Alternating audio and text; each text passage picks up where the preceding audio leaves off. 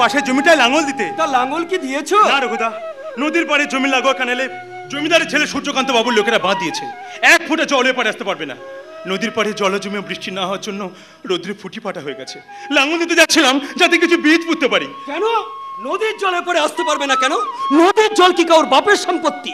জমিদার বাবুর ছেলে সূর্যকান্ত বাবুর অত্যাচার দেখছি দিনের পর দিন বেড়েই চলেছে। নদীর ওপরে তাকিয়ে দেখেছ? ওদের জমি সবুজ ফসলে মাঠ ভরে গেছে। হ্যাঁ ওরা তো নদীর জলে চাষ করছে। তাহলে ওই নদীর জল আমাদের দেবে না কেন? দিতেই হবে। হ্যাঁ আমি বলছি নদীর জল ওদের দিতেই হবে। জমিদার বাবুর ছেলে সূর্যকান্ত বাবু মনে করেছে এখনও বোধ হয় ওদের জমিদারি আছে। ছোট ভাই চন্দ্রকান্ত বাবু খুব ভালো লোক। ওই বেটা সূর্যকান্ত বাবু খুব খচ্চর লোক। নদীর ক্যানেলে বাদ দিয়ে লেঠেল দাঁড় করিয়ে দিয়েছে যাতে জল এপারে না আসতে পারে। আমাদেরও ভাগ্য খারাপ। এক ফোঁটা বৃষ্টি হলো না জলের অভাবে সব ফসল নষ্ট হয়ে গেছে। ওদিকে বাগদি পাড়ায় দুলে পাড়ায় হাহাকার লেগেছে। গফুরের সাত আট বছরের বাচ্চাটা না খেতে পেয়ে মরে গেল। তাই নাকি? বলো কি? মদনের বউটাও ডাক্তার না দেখাতে পেয়ে মরে গেল। মদনের বউ মরে গেছে। কি যে হবে? সব ক্যানেলের মুখে মাটির বস্তা দিয়ে ভরাট করে দিয়েছে। না না এ আর আমরা সহ্য করব না। দরকার হলে আমরা থানায় যাব। বিডিও অফিসে কোনো লাভ হবে না মাস্টার মশাই কোনো লাভ হবে না। কতবার তো থানায় গেলাম। থানার বড় বাবু মানে তো আমার মেশো ওই বাবু আমাদের ডায়েরি নিল না। ওই যে সূর্যকান্ত বাবুর গোলাম। সূর্যকান্ত বাবু ওকে টাকা দিয়ে কিনে নিয়েছে। এসবের বিরুদ্ধে আমাদের প্রতিবাদ করতেই হবে। আমি আবার বলছি প্রতিবাদ করে কোনো লাভ হবে না মাস্টার মশাই জোর করে নদীর জল নিতে হবে। আর এই জোর করতে আপনি পারবেন না। আপনার মেয়ে দেবী পারবে কারণ মনে জোর আছে গায়ের সবাই ওকে মানে। না না না দেবীকে তোমরা আর এই ঝামেলার মধ্যে টেনে এনো না। দেখেছ তো ওর বিয়ের বয়স হয়ে গেছে কিন্তু বিয়ে দিতে পারছি না। কত ছেলে পক্ষ তো এলো? কিন্তু মেয়েটার সেই একই কথা পণের টাকা দান সামগ্রী দিয়ে বিয়ে করব না। আচ্ছা তোমরাই বলো আজকের দিনে পণ দান না দিলে কি বিয়ে হয়? আরে অতসী আয় আয়। তা শ্বশুর বাড়ি থেকে আসছিস বুঝি? হ্যাঁ মাস্টার কাকা। কেমন আছিস? ভালো। দাদা তুমি কেমন আছো? আমি ভালো আছি কিন্তু আমার মনে হয় তুই ভালো নেই। তোর চোখ মুখ কেমন শুকনো লাগছে? সত্যি করে বল অতসী মা জামাই কি তোকে এখনও মারধর করে? শুধু জামাই নয় শাশুড়িও মারে। শ্বশুর মশাই গালাগালি দিয়ে বলে যা শরীর বাচ্চা বাড়ির দোতলাটা করতে হবে টাকা নিয়ে আয়। ওদের কথা মতো অনেকবার দাদার কাছ থেকে টাকা নিয়ে গিয়ে দিয়েছি। আবারও টাকা চাইছি। আপনারা তো জানেন দাদা জমি জমা বিক্রি করে অনেক টাকা পণ দিয়ে দাম দিয়ে আমার বিয়ে দিয়েছিল। ছি ছি ছি ওরা কি মানুষ? জানো মাস্টার কাকা ওরা বলেছে চার পাঁচ দিনের মধ্যে পঞ্চাশ হাজার টাকা না নিয়ে গেলে ওরা আমার গায়ে কেরোসিন তেল ঢেলে আমাকে পুড়িয়ে মারবে? এই কথা শুনে পড়ে উঠে আমি পালিয়ে এসেছি। চুপ কর মা চুপ কর। কাঁদিস না। সব ঠিক হয়ে যাবে মা। সব ঠিক হয়ে যাবে। শান্ত হ। মা শান্ত। মাস্টার কাকা দেবী কেমন আছে? ভালো আছে। তুই যা না তোর বন্ধু দেবীর সঙ্গে গিয়ে তুই কথা বল। যা। মা, যা। মাস্টার কাকা কাল আমার শ্বশুর বাড়ির পাশে ওই ব্রজেন বাবু আর তার ছেলে শুভজিৎ আসবে দেবীকে দেখতে। আচ্ছা, আচ্ছা। কথাটা আপনাদের মনে আছে তো? হ্যাঁ হ্যাঁ মনে আছে। যাচ্ছি দাদা তুমি তাড়াতাড়ি বাড়িতে এসো। ঠিক আছে ঠিক আছে তুই কিন্তু খুব সাবধানে বাড়িতে যাবি। মাস্টার কাকা কাল যখন ওরা আসবে তখন আমি আসব দেবীকে বলবেন। আচ্ছা। যাচ্ছি দেবদা আচ্ছা। শোন তুই উনুনটা ধরিয়ে ভাতটা চাপিয়ে দিস। ঠিক আছে দাদা তুমি তাড়াতাড়ি ঠিক আছে। অত শিখে দেখে বড় কষ্ট হচ্ছে।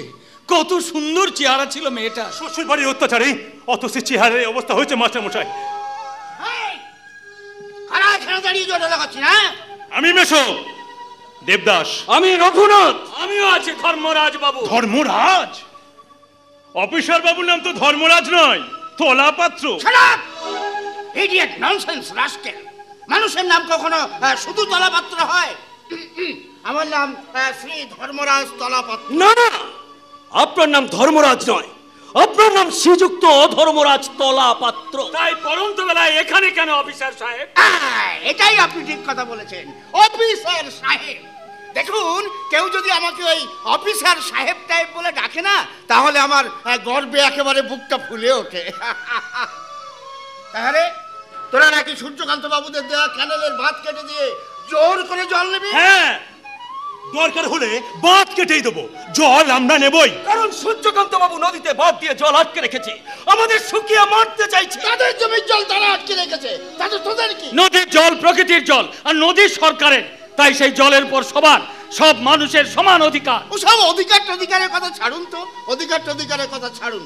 সূর্যকান্ত বাবু যখন ক্যানেলের বাঁধ দেখাশোনার ভার আমার উপরে দিয়েছে তখন বাঁধ কাটার চিন্তা মন থেকে মুছে ফেলে দিই হ্যাঁ, সবাইকে হাজতে পুরে দেবো হাজতে পুরে দেবো। আপনাদের হাজতটা কত বড় বিশাল সাহেব যে দশখানা গ্রামের লোককে হাজতে পুড়তে চাইছেন? দেশের মা ভাই বোন যুবক সবাই সবাই বাদ কাটতে এগিয়ে আসবে। কজন? কজনকে আপনি আটক করবেন অফিসার সাহেব? হ্যাঁ অফিসার সাহেব। জল না দিলে কিন্তু ওখানে রক্ত গঙ্গা বয়ে যাবে। রক্তগঙ্গা বয়ে যাবে। আমার এলাকার চাষা ভুষরা রক্তগঙ্গা বইয়ে দেবে হ্যাঁ? তাহলে লাঠি পেটাতে করবোই। দরকার হলে দরকার হলে গুলিও চালাবো। গুলিও চালাবো। চালাও গুলি। চালাও। হিংমত থাকে তো গুলি চালা হ্যাঁ আমিও বলছি চালান গুলি। এসব কি বলছো তুমি? ঠিকই বলছি? কিন্তু কেন? কেন তুমি নদীর ক্যানেলের জল বাদ দিয়ে আটকে রেখেছো? শুনেছি হিজলডাঙ্গা মুন্সিগঞ্জ চণ্ডীপুর বেতাল সব গ্রামের জমি ফেটে চৌচির হয়ে গেছে। সব ফসল নষ্ট হয়ে গেছে। জলের অভাবে তারা চাষ করতে পারছে না। আর তুমি? তুমি সরকারি ক্যানেলে বাদ দিয়ে তাদের চাষের জল বন্ধ করে দিয়েছ? বেশ করেছি। তুমি জানো না ও জমি এক সময় আমাদেরই ছিল। বাবা মুনিশ লাগে ওসব জমি চাষ করাতে। কিন্তু এখন তো তোমাদের জমিদারি নেই। তোমার বাবা রাধাকান্ত বাবু নাকি মদ খেয়ে জুয়া খেলার মামলায় হেরে গিয়ে সব জমি নষ্ট করে দিয়ে গেছে। ভাগ্যিস তোমার ছোট ভাই চন্দ্রকান্ত নিজে রোজগারের টাকা দিয়ে সব জমি ছাড়িয়ে নিতে পেরেছে। নইলে তোমরা তো ভিকিরি হয়ে যেতে। ভিকিরি? না না। মোটেই ভিকিরি হয়ে যেতাম না। তোমার স্বামী সূর্যকান্ত চৌধুরীকে তুমি চেনো না? সে দিনকে রাত করতে পারে আবার রাতকে দিন করতে পারে। ও জমি আমাদের। কিন্তু তোমার ছোট ভাই চন্দ্র নাকি সব জমি ছাড়িয়ে নেবার পর ওই সব গ্রামের জমি ভাগ চাষিদের দিয়েছে? জানি না। তাহলে ভাগ চাষিরা ফসলে অর্ধেক আমাদের দিচ্ছে না বা কোনো টাকা পয়সাও দিচ্ছে না। সেটা চন্দ্র বুঝবে। চন্দ্র যদি মূর্খ হয় আমি তো আর মূর্খ নই। হাসালে তুমি ঠাকুরপো এম এ পাস সে হলো মূর্খ। আর তুমি ক্লাস টেন পর্যন্ত পড়ে তুমি হলে বুদ্ধিমান। তুমি বেশি বক বক করো না তো। সোজা কথা শুনে রাখো। চন্দ্র আমার খুঁড়তো ভাই। তাই বাবার কোনো সম্পত্তি আমি চন্দ্রকে ভোগ করতে দেব না। বাবার সব সম্পত্তি আমার। এখন তো তা সব আমার করে নেব। কি হলো? কি হলো সূর্য? কি হ- ও বৌমা তা তোমরা এত জোরে জোরে কথা বলছিলে কেন? আবার কি তোমাদের মধ্যে ঝগড়া ঝগড়া হচ্ছিল নাকি? দেখুন না সরকার মশাই উনি বলছেন খবরদার! তুমি আমার সম্বন্ধে একটা কথাও বলবে না।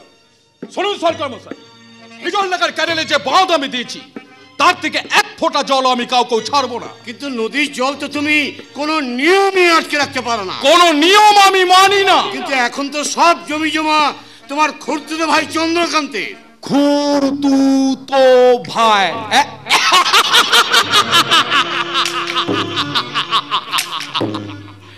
সে তো অনেক দূরের সম্পর্ক।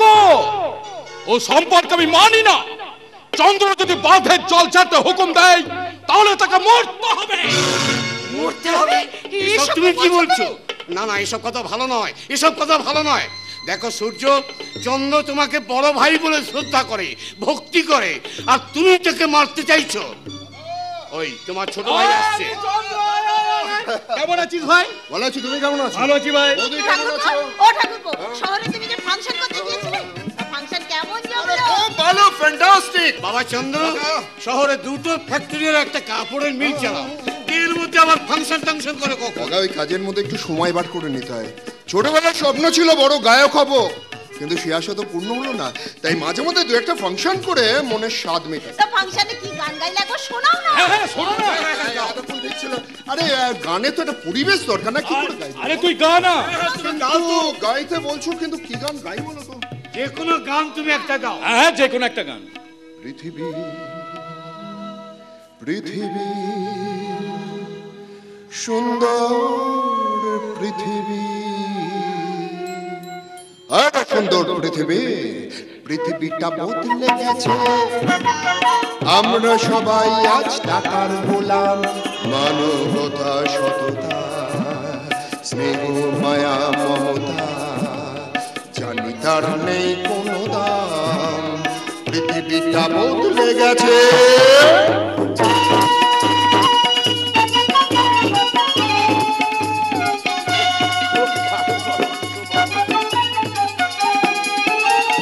মানুষ বিবেকহীন ভালোবাসা শূন্য, স্বার্থের নেশাতে মন পরিপূর্ণ। মানুষ বিবেকহীন ভালোবাসা শূন্য, স্বার্থের নেশাতে মন পরিপূর্ণ। অবক্ষয়ের পথে চলেছে সবাই, সত্য সুন্দর হয়েছে নিলাম। মানুষ, হায় রে মানুষ। স্বাধীন সভ্য দেশে কি পরিণাম? মানুষ আর মানুষ, স্বাধীন সভ্য দেশে কি পরিণাম?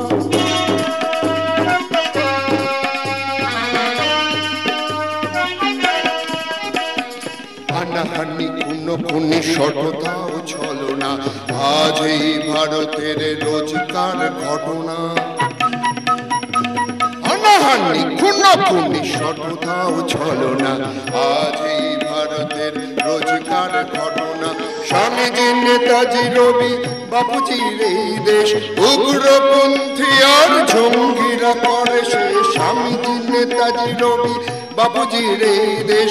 উগ্রপন্থী আর জঙ্গিরা করে শেষ হারায় যে ভারতের গৌরব গরিমা কালিমায় ঢাকে যে সোনা মানুষ আরে মানুষ স্বাধীন সভ্য দেশে কি পরিণাম? মানুষ আরে মানুষ স্বাধীন সভ্য দেশে একই পরিণাম? ভালো খুব ভালো তোর গান খুব ভালো হয়েছে। বাণীগুলো আরও ভালো। ফাংশন আমি কিন্তু দিতাম ফাংশন হলে আমি কিন্তু হাততালি দিতাম। তাতে দেবে তুমি তো শুধু আমার বৌদি নও আমার মা আমার জননী। দাদা অনেকদিন পর সঠিক গ্রামের বাড়ি এই দেখো একদম ভুলে কি? তোমার জন্যে এই চোখ তার পাঞ্জাবি। তোমাকে দারুণ মানে তোমার জন্য এই বেনারসি শাড়ি বলো কেমন হয়েছে? কাকা আবার আমার জন্য এনেছো বুঝি আরে আনব না। আপনার জন্য জল ছুড়ে ধুতি আর পাঞ্জাবি। খুব ভালো হয়েছে বাবা খুব ভালো হয়েছে। বলো দাদা বৌদি সরকার কাকা। বাবা? আমি সবার কাছ থেকে বিদায় চাই। কেন? কারণ আমার হাতে সময় নেই। আমাকে নাই তো হইবে খাই তো হইবে মাছ ধরি তো হইবে সেই বড় দিঘির পারে এদিকে পেটে চুচোয় ডন মারিতেছে। দয়া করে কিছু খেতে দাও জননী আমার। তাহলে শ্রদ্ধেয় দাদা। নমস্য সরকার মশাই।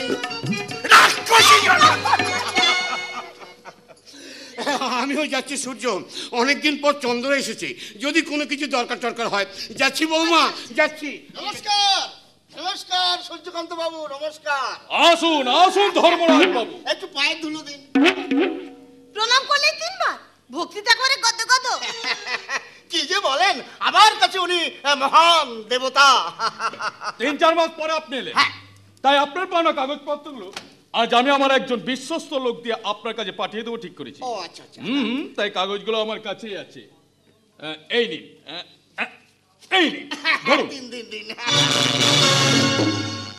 আপনার দয়াতেই তো বেঁচে আছি স্যার। কেন?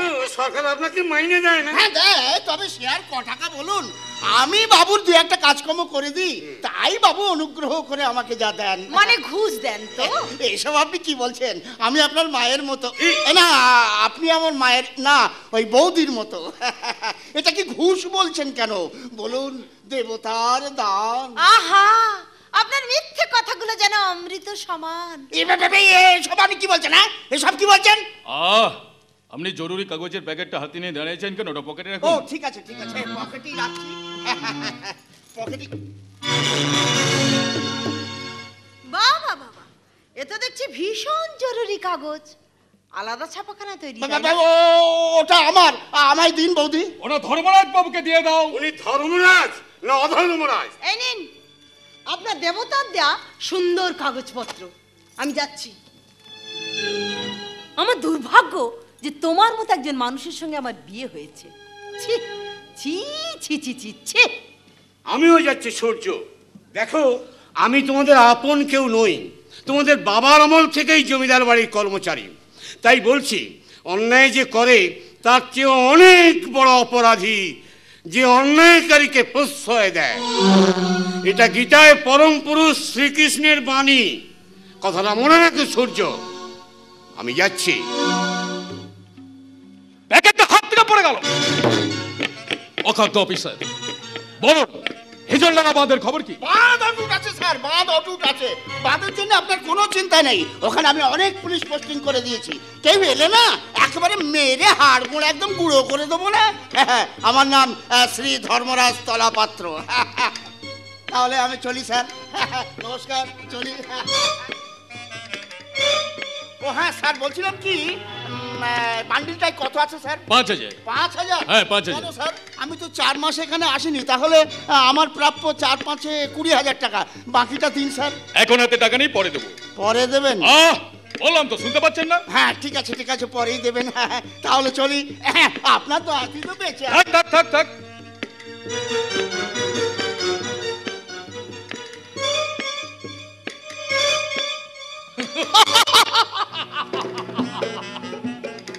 পয়সা দিয়ে কেনা কুত্তা। অবশ্যই এরকম কুত্তা। আমার অনেক পোষা আছে। কিন্তু মুশকিল হলো পদ্মার কাছে আমি ধরা পড়ে গেলাম। পদ্মা অন্যায় দেখলেই বাঘিনীর মতো চাপিয়ে পড়ে। তবে বাঘিনী তেজটা বেশি দেখালে ওকে মরতে হবে। হ্যাঁ। হ্যাঁ। ওকে মরতে হবে। বাবার উচ্ছৃঙ্খলতার জন্য যে সম্পত্তি আমার হাতছাড়া হয়ে গেছে, সেই সম্পত্তি আমার চাই চাই। দেবী! আরে ও দেবী! তাই তো, মেয়েটা গেল কোথায়? সেই সকালে উঠে একবার দেখেছি বেলা নটা বাজে রান্না বান্নাই বা করবে কখন? সম্বন্ধ দেখতেও তো এসে পড়বে। না না না, মেয়েটাকে নিয়ে আর চিন্তা করতে পারি না। আরে এসো এসো পূর্ণিমা দেবী। আমার একমাত্র শালকের একমাত্র আদরের বউ। তা দেবী কোথায়? দেবী তো সেই সকালে বেরিয়েছে। কি জানি কোথায় গেছে। আরে অতসী আয় আয় আয়। দেবী কোথায়? আরে দেবী তো সেই সকালে বেরিয়েছে। হয়তো কারুর বাড়ি কেউ অসুস্থ হয়ে পড়েছে তাকে নিয়ে ডাক্তারখানায় গেছে। নয়তো কারুর বাড়ির সীমানা নিয়ে কোনো গন্ডগোল হচ্ছে সেই গন্ডগোল থামাতে গেছে। এটা কিন্তু দেবীর বড় গুণ মাস্টার কাকা। এই বউটা কে ঠাকুর জামাই? আরে ও তো দেবীর বন্ধু অতসী। ঘেন্না ঘেন্না বলে বিয়ে যখন হয়েছে তখন মাথায় একটু ঘুমটা দিতে পারোনি? নমস্কার নমস্কার মশাই নমস্কার নমস্কার নমস্কার। আসুন আসুন। ঠিক আছে ঠিক আছে। বসো বাবা বসো। আয়, আয়, আয়, আয়, আয়। ও তুমি তো আমাদের গায়ে দিনেশের বউ না? হ্যাঁ। আমার স্ত্রী সব সময় তোমার কথা বলে। তুমি নাই খুব ভালো। কিন্তু তোমার ওপর দিনেশ দিনেশের মা বাবা ভীষণ অত্যাচার করে। না না তেমন কিছু না। মেয়েদের এটাই স্বভাব। মায়ের জাতি তো শত অত্যাচার করলেও মুখ বুঝে সব সহ্য করে। বাবা বাবা! ওই তো দেবী আসছে। আয় মা এ ঘরে আয়। আমার মেয়ে দেবী। হ্যাঁ। একটু কাজে বাইরে গিয়েছিল আছি এক্ষুনি এসে পড়বে। আরে সম্বন্ধে এসেছি কাপড়টা ঠিক করে বল। ঠিক আছে দাঁড়া তো। আয় মা আয়। এনাকে প্রণাম কর। ইনি ব্রজেন এই, ঠিক আছে ঠিক আছে ঠিক আছে। এই হচ্ছে আমার ছেলে শুভজিৎ। নমস্কার। দেখুন ব্রজেন বাবু আমার মেয়ে দেবী ক্লাস নাইন পর্যন্ত পড়েছে। হ্যাঁ। তারপর হঠাৎ আমার চাকরিটা চলে গেল। মানে আমি একরকম ইচ্ছে করে স্কুল মাস্টারিটা ছেড়ে দিয়েছি। তারপর থেকে এই সংসারে একটু টান পড়েছে। যাক যাক যাক ওসব কথা এখন যাক। এবার বলুন আমার মেয়েকে দেখে আপনাদের পছন্দ হয়েছে তো? হ্যাঁ হ্যাঁ হ্যাঁ। মায়ের নাম যেমন দেবী দেখতেও ঠিক দেবী প্রতিমার মতো। দেবী আমি তাহলে যাই রে। ছেলে তো দেখতে ভালো আমি পরে এসে সংবাদ নেব। চার দিন তো থেকেই গেলাম ভাগ্যিস ওই পাশের বাড়ির রমেনের বউটা তোর মামাকে রান্না করে দেবে বলেছে। তোর মামা তো রান্না করে খেতে পারে না। দেবী শোন আমি তো ওনাদের চিনি না তাই কথা বললাম না। যাচ্ছি দেবী যাচ্ছি ঠাকুর জামাই। আচ্ছা আচ্ছা আচ্ছা। তা বলছিলাম আপনি যদি কোনো প্রশ্ন টশ্ন করেন। না না না না, না প্রশ্ন আর কি করব তবু বলছি। বলো তো মা জীবনে শৃঙ্খলা ভালো না উচ্ছৃঙ্খলা ভালো?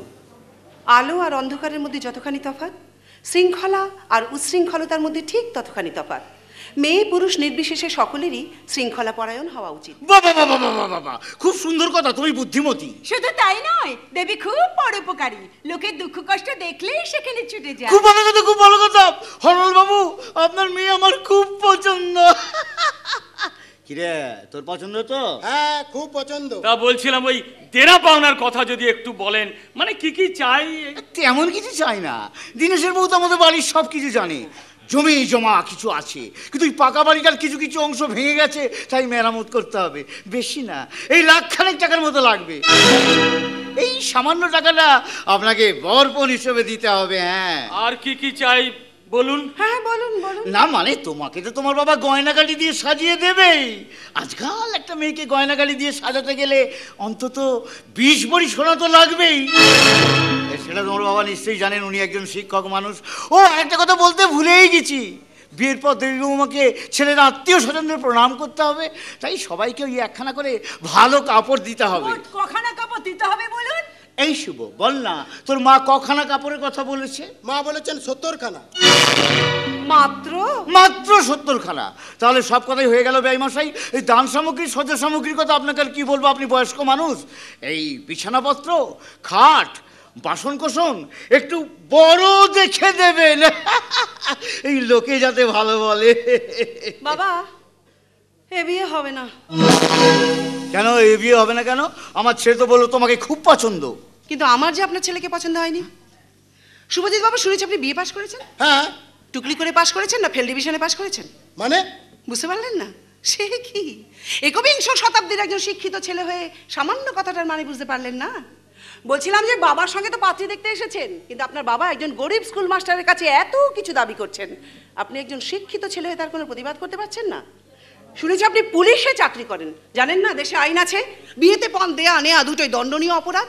থানায় খবর দিলে না আপনাদের বাপ ছেলেকে কোমরে দড়ি বেঁধে সোজা ঘরে ঢুকিয়ে দেবে। দেবী! অবশ্য একটা শর্তে বিয়েটা হতে পারে। কি শর্ত? আমার বাবা। আমার বাবা তো বর আনার জন্য নিশ্চয়ই একখানা গাড়ি পাঠাবে। হ্যাঁ, হ্যাঁ, হ্যাঁ। সেই গাড়ির সঙ্গে বেশ মোটা দেখে একখানা দড়ি পাঠিয়ে হ্যাঁ? দড়ি কেন? বর আনবার জন্য। সেই দড়ির একটা দিক বাঁধা থাকবে গাড়িতে আর একটা দিক বেঁধে দেওয়া হবে আপনার ছেলের গলায়। তারপর গাড়িটা চলে আসবে আমাদের বাড়িতে আর আপনার ছেলে বরের পোশাক পরে গাড়ির পেছন পেছন দৌড়তে দৌড়তে এখানে চলে আসবে। সবাই দেখবে বরকে ফুলের মালার পরিবর্তে দড়ির মালা গলায় পরিয়ে নিয়ে আসা হচ্ছে। এটা একটা নতুনত্ব হবে আপনারও সম্মানে বৃদ্ধি হবে। মাস্টারমশাই আপনার মেয়ে সব কি বলছে? দেবী তুই! কি বলছিস দেবী তুই? ঠিক বলছি একদম ঠিক বলছি। আরে বাবা এক লক্ষ টাকা পণ নিয়ে উনি তো ওনার ছেলেকে বিক্রি করে দেবেন। ছেলের উপর ওনার তো আর কোনো অধিকার থাকার কথা নয়। এবারে লাখ টাকা পণ দিয়ে আমার বাবা তার হবু জামাইকে কীভাবে আনবে সেটা তার ব্যাপার। এ ব্যাপারে ওনার কোনো বক্তব্য থাকা উচিত নয়। এই শুভ ওটো আর এক মুহূর্তে থাকব উঠবেন না বসুন বসুন বসুন। দেবী! বাবা তোমরা শিক্ষকরা বলো দেশের নেতা মন্ত্রীরা বলে দেশে নাকি শিক্ষার উন্নতি হয়েছে। এটা কি ধরনের উন্নতি? একটা বিয়ে পাস ছেলে বিয়ের বাজারে নিজেকে বিক্রি হতে দেখেও একটা প্রতিবাদ পর্যন্ত করছে না। আমি আবার বলছি দেবী তুই চুপ কর। কেন চুপ করব বাবা? কেন চুপ করব? দেশের নেতা মন্ত্রীরা দেশের যুব সম্প্রদায় কত কিছু নিয়ে তো আন্দোলন করছেন? পণ প্রথা বন্ধ করার জন্য একটা কড়া আন্দোলন করতে পারছেন না? দেশের নারী বাঁচা কমিটি আছে নারী কল্যাণ সমিতি আছে তারা সবাই মিলে একসঙ্গে জোট বেঁধে গ্রামে গঞ্জে হাটে মাঠে তীব্র আন্দোলন করে বলতে পারছে না। যে শুধু কাগজে কলমে আইন করলে চলবে না আইনকে কার্যকরী করতে হবে প্রকৃত অর্থে বিয়েতে পণ দেয়া নেওয়া বন্ধ করতে হবে। তুই চুপ করবি? কিন্তু চুপ করে থাকলে প্রতিকার হবে না বাবা। এইভাবে চুপ করে থাকার জন্য আজও আমাদের দেশে অসংখ্য মেয়ে অসহায়ভাবে পণ প্রথার বলি হচ্ছে। তুই ঠিক বলেছিস দেবী যেমন আমি। হাজার হাজার টাকা পণ প্রচুর প্রচুর সামগ্রী দেবার পরেও আজও আমাদের দেশে যে সমস্ত অসহায় বধূরা নির্যাতিতা হচ্ছে লাঞ্ছিতা হচ্ছে শ্বশুর বাড়ির চাহিদার খিদে মেটানোর জন্যে তাদেরকে বাঁচানোর জন্য দেশে একটা কড়া আইন বার করা উচিত। আর সেই আইনের সাহায্যে এই সমস্ত লোভী মানুষগুলোকে কঠিন শাস্তি দেওয়া উচিত। আপনার মেয়ের অনেক বক্তৃতা শুনলাম। এবার তাহলে উঠি। হ্যাঁ আসুন আসুন অনুগ্রহ করে এবার আসুন। চলে আয় খোকা। খোকা? খোকা? তা বিয়ে পাস খোকা বাবু যাবার সময় কষ্ট করে আমার আর একটা কথা শুনবেন? কি কথা বলুন? বলছিলাম যে এত রকম দেনা পাওনা নিয়ে যখন আপনি বিয়েটা করবেন বলে ঠিকই করে ফেলেছেন তখন ভাবে শ্বশুর বাড়ি থেকে আর একটা পাওনা কষ্ট করে চেয়ে নেবেন। কি পাওনা? আপনার বাবার শ্রাদ্ধের টাকা। কি বললে? বুঝতে পারলেন না? বলছিলাম যে আপনার এই বিয়ে পাস খোকাটির তো আর নিজের রোজগারের টাকায় বাপের শ্রাদ্ধ করার ক্ষমতা হবে না। তাই শ্বশুর বাড়ি থেকে পণ হিসেবে আপনার শ্রাদ্ধের টাকাটাও দেন দয়া করে চেয়ে নেয়। মাস্টারমশাই আপনার মেয়ে একটা শয়তান। আমার ভীষণ দুঃখ। আমার ভীষণ দুঃখ রইল যে আমি আপনার পুত্রবধূ হতে পারলাম না। কিন্তু যদি হতে পারতাম তাহলে আপনার মতো মহান শয়তান শ্বশুরকে আচ্ছা করে টয়টি দিয়ে দিতাম। একটা বাজে মেয়ে। খোকাবাবু দাঁড়িয়ে আছেন কেন? বাবা রাগ করে চলে গেলে আপনি রাস্তা হারিয়ে যাবেন। যে যান যান বাবার সঙ্গে যান। চলে আরে যান। থাক থাক থাক। আর তোমরা হেসো না তো। ঠিক আছে বাবা ঠিক আছে। আর হাসবো না তোমাকে কথা দিলাম। কিন্তু আজ তোমাকেও আমায় একটা কথা দিতে হবে বাবা। বাবা ছাড়ো না অনেক তো চেষ্টা করলে। কত সম্বন্ধ দেখলে? আর তুমি প্লিজ আমার বিয়ের কোনো চেষ্টা করো না। বাবা, অর্থের অভাবে বেশি দূর লেখাপড়া করতে পারিনি, তাই তাই কোনো ভালো চাকরি পাওয়ার আশা আমি করি না। কিন্তু গায়ে গতরে খেটে প্রয়োজন হলে জন্মজোর খেটেও আমাদের বাপ বেটির পেটের ভাত আমি ঠিক জোগাড় করতে পারব। তাই বলে তুই? তুমি কিচ্ছু ভেবো না বাবা। সেই ছেলেবেলা থেকেই আমি শিব ঠাকুরের পুজো করে আসছি। আমার বুড়ো শিবের উপরে আমার অগাধ বিশ্বাস। আমি জানি ঈশ্বর যা করেন মঙ্গলের জন্যই করেন। মোট কথা পণ দিয়ে আমি বিয়ে করব না ব্যাস। বিয়ে না করে লাভটা কি হবে? লোকসানটাই বা কি হবে? কত মেয়েরই তো বিয়ের পরেই স্বামী মরে যায় তারা বেঁচে থাকে না। তবে হ্যাঁ যদি কোনোদিন কোনো মহান মানুষ কোনো রকম দেনা পাওনা না নিয়ে আমাকে বিয়ে করতে রাজি হয় আমি নিশ্চয়ই তাকে বিয়ে করব। আর তা যদি কেউ না হয় সারা জীবন অবিবাহিতাই থাকব কিন্তু পণ দিয়ে বিয়ে আমি করব না এটা আমার প্রতিজ্ঞা ব্যাস। अबे কি বে এ শালিকে শালা আমার কথা শুনতে পাচ্ছি নাকি? ঈশ্বর মস্তান মরাটার এখনই আসার সময় হলো।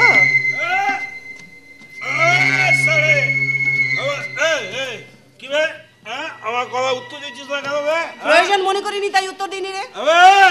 আমার মুখের সামনে দাঁড়িয়ে সারা বড় হচ্ছে হ্যাঁ? আপনি স্যার হ্যাঁ আমি! অর্জুন তোমার এই জঘন্য আচরণ নোংরা কথা আমি আর সহ্য করতে পারছি না। তুমি তুমি এক্ষুনি চলে যাও। এক্ষুনি এ বাড়ি ছেড়ে চলে যাও। চলে যাব? আপনি আমার শিক্ষাগুরু হয়ে ছাত্রকে তাড়িয়ে দিচ্ছেন স্যার। তুমি ছাত্র নামের কলঙ্ক। কেন স্যার? কলঙ্ক কেন স্যার? ও আমি মাল খেয়েছি বলে। মাল তো সালা অনেকেই খায় গুরু। কেউ সামনে কেউ পেছনে। এই সালা ওই এই সালা বড় ভুলে গেছে রে মাই তুই সালা এত ছোট লোক হ্যাঁ? তোর শিক্ষাগুলো সামনে দাঁড়িয়ে আছে। তুই একটা বেন্নামা করিস নি।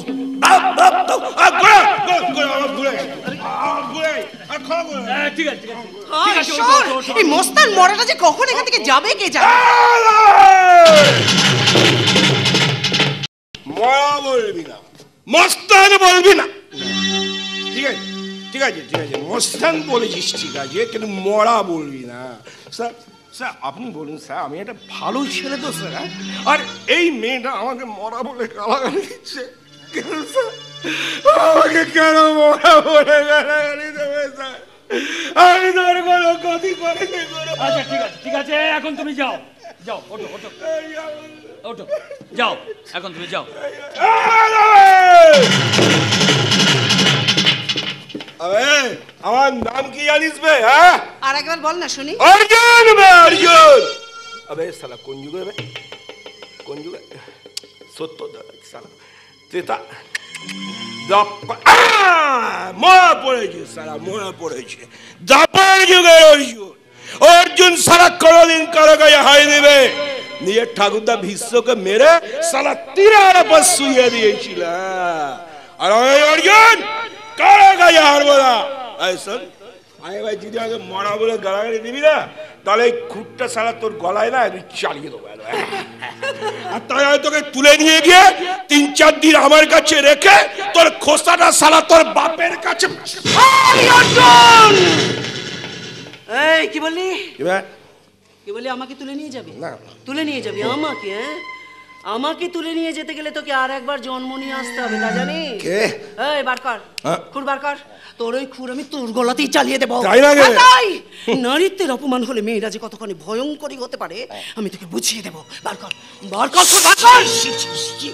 আমি এত খারাপ ছিল নই মাইরি তবে হ্যাঁ কয়েকদিন আগে আমাদের গ্রামে কয়েকটা মেয়ে আমার কথা শোনেনি বলে না তাদের ও সালা কুচালি দিয়েছিলাম তাই বলে আমার মাস্টার স্যার কিছু মনে স্যার আপনি কিছু মনে করেন? না, না, ঠিক আছে, আমি আর ক্ষমা করে দেবেন হ্যাঁ ক্ষমা করে দিচ্ছি যাও। আপনারা ক্ষমা স্যার? হ্যাঁ ক্ষমা করেছি যাও যাও। ক্ষমা হ্যাঁ স্যার সত্যি একটা শয়তান ছেলে। দেবী! কে বলো? তোমার মিনতি বৌদি মিনতি বৌদি কি হয়েছে? মাস্টার মশাই তোমরা এক্ষুনি বাঁধের কাছে চলে যাও। গ্রামের সবাই বাঁধের দিকে ছুটে গেছে? আমার স্বামী ওই পুকুরা পুলিশ অফিসার বলেছে কেউ বাদ করবার চেষ্টা করলে গুলি চালাবো। তাই আমি গোপনে তোমাদের সংবাদ দিতে ছুটে পুলিশ অফিসারের বউ হয়ে তুমি গোপনেই সংবাদ দিতে এসেছ?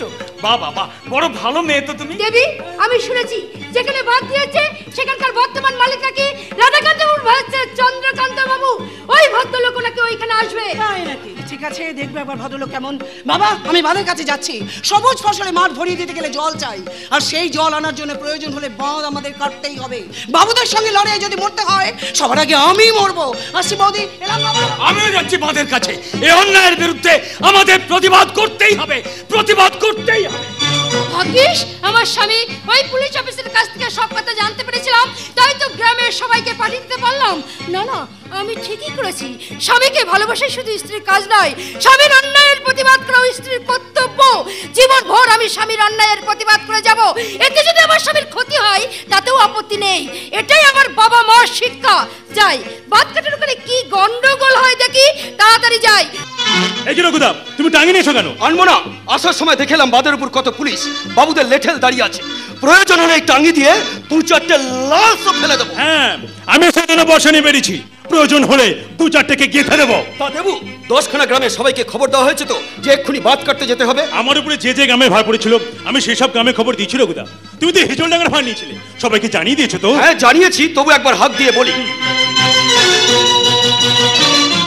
হিজল ডাঙার ভাই বন্ধু এবং মেয়েরা আমি আবার সবাইকে জানাচ্ছি যে আমাদের না খাইয়ে মারার জন্য সূর্যকান্ত বাবু নদীতে যে বাঁধ দিয়েছে সে বাঁধ আমরা কাটবই। তাই আপনারা যে যা পারেন বাঁধ কাটার কিছু না কিছু যন্ত্র নিয়ে বেরিয়ে পড়ুন। বুঝলে? বুঝলে আজকাল আর নরম কথায় কাজ হবে না। সবাইকে বুকের পড়া শক্ত করে অন্যায়ের প্রতিবাদ করতে হবে। ঠিক তাই। এই যে দেবু তোমরা এখানে? হ্যাঁ মাস্টার মশাই সবাইকে এইখানে জড় হতে বলেছি। দেবী আসবে না? দেবী নিশ্চয় আসবে। ও বোধহয় গ্রামের ভেতর দিয়ে এখানে আসছে।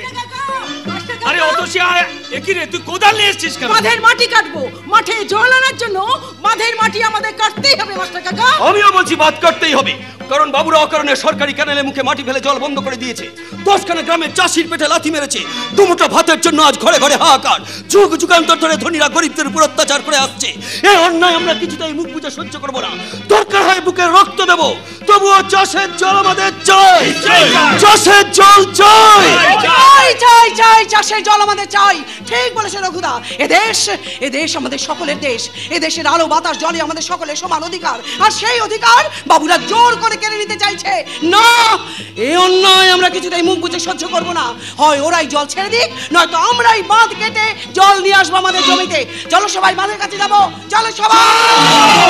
ওকে কে? আসছে ওখানে? গৌর ভবানীপুরের জমিদার রাধাকান্ত চৌধুরী ভাইয়ের ছেলে চন্দ্রকান্ত চৌধুরী এদিকেই আসছেন উনি চন্দ্রকান্ত চৌধুরী। দেখাই যাক কি বলতে উনি এখানে আসছেন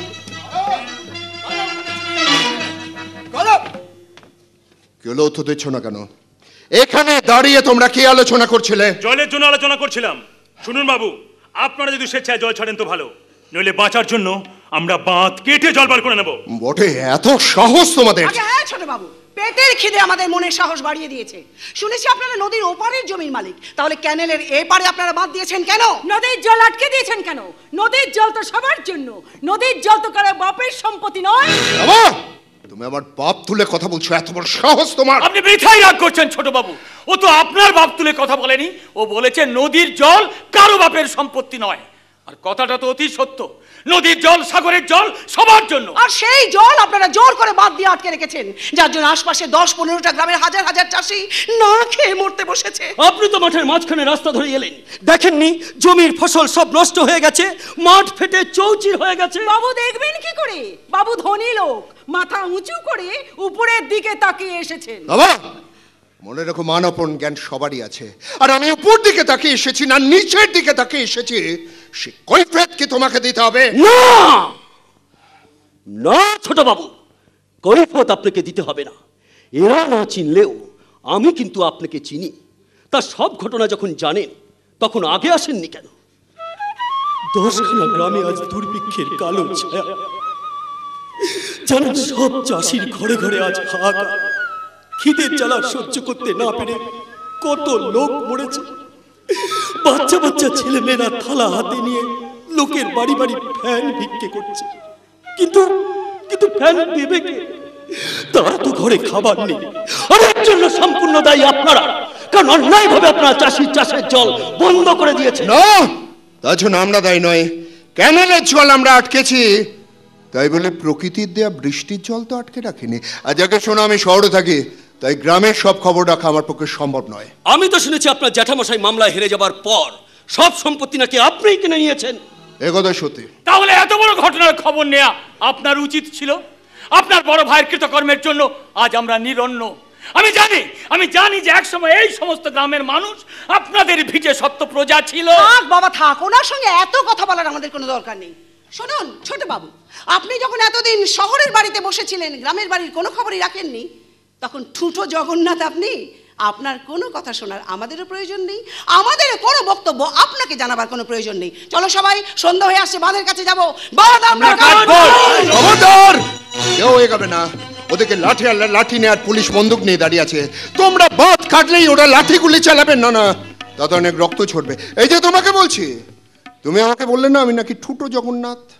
তাহলে শোনো আজ আমি ঠুটো জগন্নাথ হয়ে আসিনি। সব কিছু জেনেই এসেছি। আরেকটা কথা জগন্নাথ ঠুটো হলেও তিনি কিন্তু ভগবান অশেষ ক্ষমতার অধিকারী। তবে আমার দাদা সূর্যকান্ত চৌধুরী ক্যানেলে বাদ দিয়ে ছড় অন্যায় করেছে।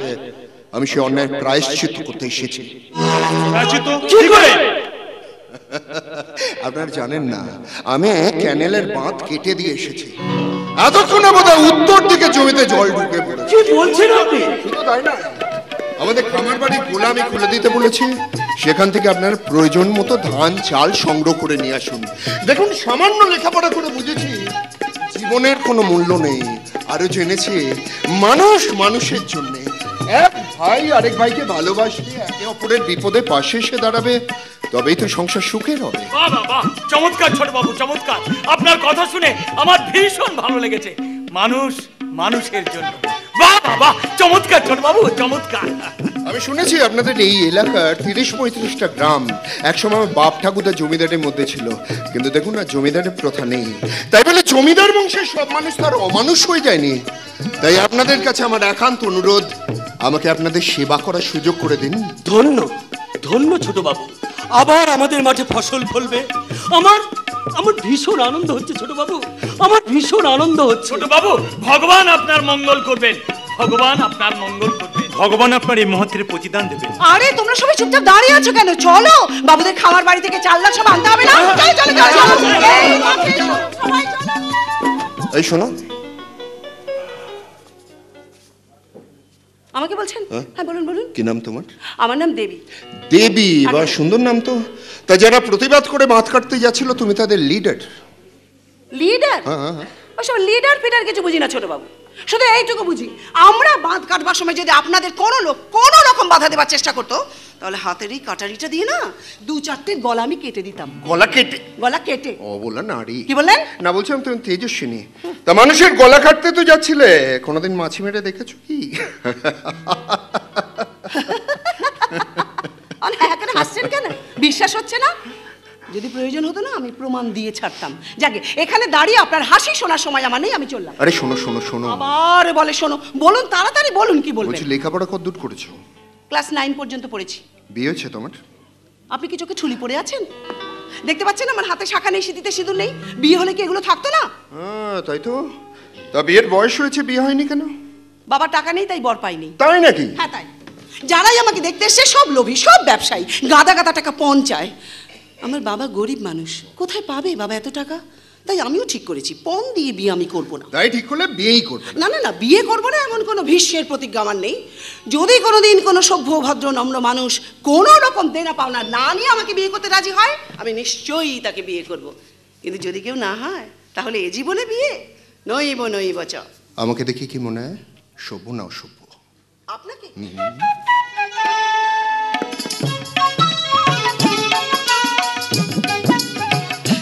না না।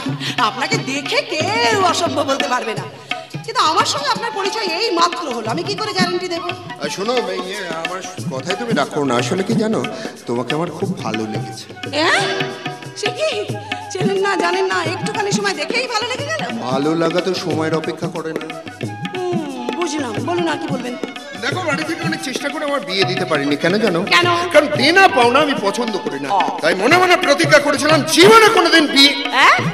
তবে একটা কথা তোমায় সত্যি বলছি মনের গহন অন্ধকারে যে বিয়ে করার ইচ্ছে একেবারেই ছিল না তা নয়। যে আগে বাবা পরিষ্কার করেই বলি আদাকে ইয়ে তোমাকে আমার ভালো লেগেছে আমি তোমাকে বিয়ে করতে চাই। হ্যাঁ? নয় হ্যাঁ। একটু আগে তো তুমি তো বললে দেনা পাওনা নেবে না এমন কোনো ছেলে পেলে আমি বিয়ে করতে রাজি আছি। বলো বলো নি। হ্যাঁ হ্যাঁ, হ্যাঁ আমি নিশ্চয়ই বলেছি কিন্তু তাই বলে আমি তো ঠিক এই বিয়েতে তোমাদের একটা পয়সাও খরচ করতে হবে না। বরং আমি টাকা পয়সা গয়না গাটি দিয়ে তোমাকে সাজিয়ে নিয়ে যাব। বলো তুমি রাজি? কি- মুশকিলে পড়লাম বলো দেখিনি? আমাকে একটু ভাবতে সময় দেবেন তো নাকি? সময় দিতে পারব না। কাছে এসো। কাছে এসো।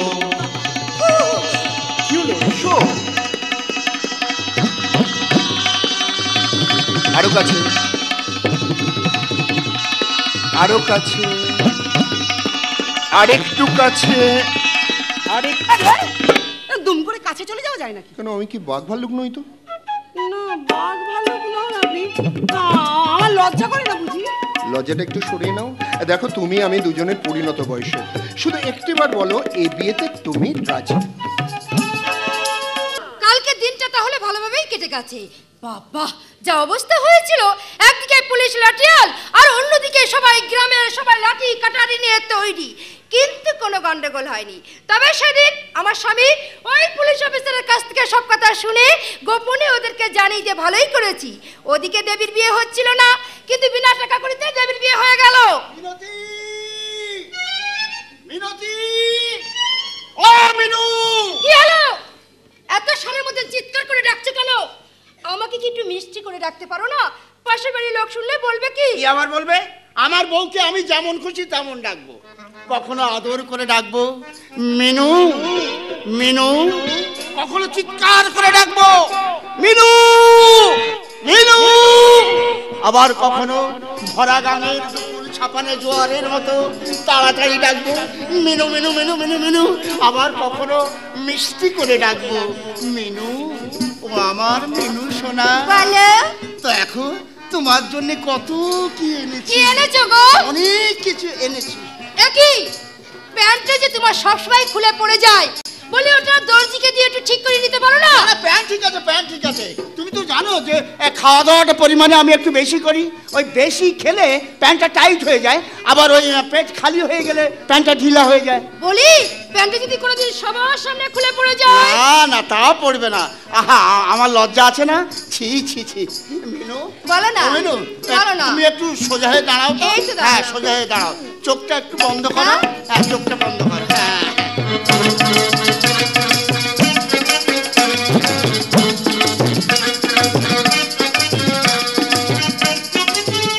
এবারে চোখটা খোলো শোনা এসব আমি চাই না।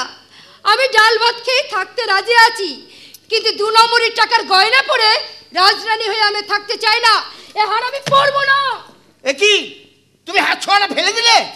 তোমার এই সংসারে ভাত আর খাব কিনা তাই ভাবছি। তোমারই পাপের জন্য আমার জীবনে যত দুঃখ। দুঃখ? কিসের দুঃখ তোমার? বলো কত লক্ষ টাকা তোমার চাই? মেয়েদের জীবনে টাকা পয়সা গয়নাগাটিতে শান্তি আসে না গো। মেয়েদের মন ছোট্টবেলার থেকে আরও কিছু চাই। কি চাই তোমার বলো? তুমি যা চাইবে আমি সব জোগাড় করে দেবো। বলো কি চাই? সে তুমি পারবে না গো। সে যে বিধাতার দান। বিধাতার দান? সেটা আবার কি? একটা ফুটফুটে সন্তান। বিয়ে হয়েছে আজ কত বছর? আমার কোলে তো কোনো সন্তান হয়নি। আমার মনে হয় তার কারণ? তোমার কৃতকর্ম তোমার পাপ! তুমি লোক ঠকিয়ে টাকা নিয়ে আসো তাই।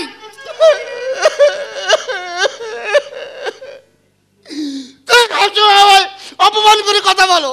না না, আর আমি পৃথিবীতে থাকব না। নিজের রিভলভার দিয়ে নিজে গুলি করে নিজেই শেষ হয়ে যাব। নিজেই শেষ হয়ে যাব। নিজেই শেষ সংসার আমরা দুজনে মানে একটু ইয়ার কি করছিলাম। হ্যাঁ, ওই মানে সংসারে গোপন কথা হ্যাঁ, হ্যাঁ, ঠিক আছে ঠিক আছে। বলছিলাম। তোমরা গোপন কথা বলো আমি যাচ্ছি। এই! এই এই এই হারামজাদা এদিকে আয়। এদিকে আয়। বল কি বলবি বলছিলি বল। হুম বলছি। মেশো হ্যাঁ। সারা মাঠ জলে ভরে যেতেই সব চাষিরা আনন্দ করে লাঙ্গুলি মাঠে নেমে পড়েছে। কেউ ধান বুনছে কেউ অন্য ফসলের বীজ ফেলছে। জানো বাচ্চা ছেলেমেয়েরা জলের মধ্যে নাচানাচি করছে। বাবা বাবা বাবা শুনে খুব আনন্দ পেলাম। হ্যাঁ। তুমি আনন্দ পেলে মানে? তুমি তো বাদ করতে যারা যাবে তাদেরকে বাধা দিতে গিয়েছিলে। আর বলে গিয়েছিলে দরকার হলে গুলি চালাবো। কিন্তু আমি যে তোমার কাছ থেকে সব কথা শুনে গোপনে ওদেরকে জানিয়ে দিয়ে এসেছিলাম সেটা তো তুমি জানো না। আচ্ছা, গুলি চালাবো ওটা মুখে বলেছি। ওটা কি আমার মনের কথা নাকি হ্যাঁ? ওই নেতা বড় বাবুদের সন্তুষ্ট করতে হলে ওরা মিথ্যে কথা অনেক বলতে হয়।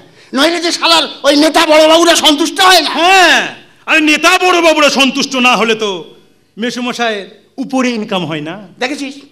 দেখেছিস? এই জন্যেই তোকে আমি আলাদা করে দিয়েছি। এই জন্য ও তো ঠিক কথা বলছে।